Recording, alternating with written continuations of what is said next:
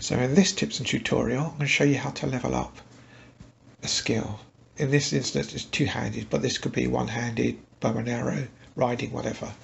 So click on it in the skills level and see how you learn. And as you look at the bar, it's not quite there yet.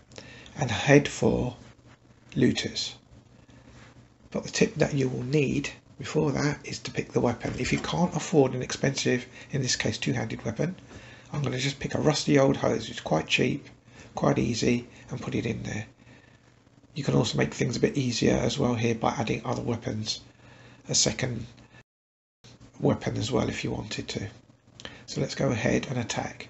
The next tip here is you want to level up. You don't want to take all your troops in.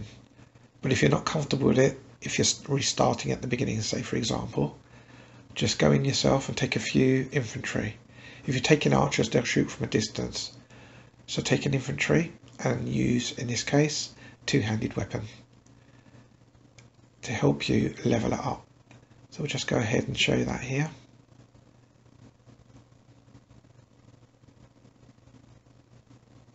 Looks like I have brought archers in this case and they're shooting down because they're so few, but they're still doing all the damage as you can see.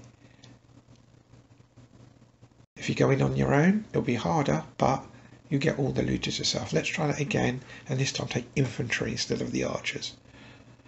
You'll notice there's a lot of infantry in this case. So it's going to be a similar reaction to the first one with even archers. Even though this weapon is short, you can still do damage. But as soon as your backup arrives, you will lose the element of all these looters to help you to upgrade. If you're lucky, some will run away like this. Without archers, you'll be able to chase them down. Again, another tip, so you can use your two-handed weapon or one-handed weapon, or even bow and arrows if you need to. So let's take a look at the skill levels after doing it for some time. You can see now I can activate it, but it's locked. Even if it is locked in this case, you can still activate whichever one you want. So when the unlocking comes later, it will automatically be applied. So let's go ahead and pick one of these two. So you can highlight it this way or click on it and pick and choose.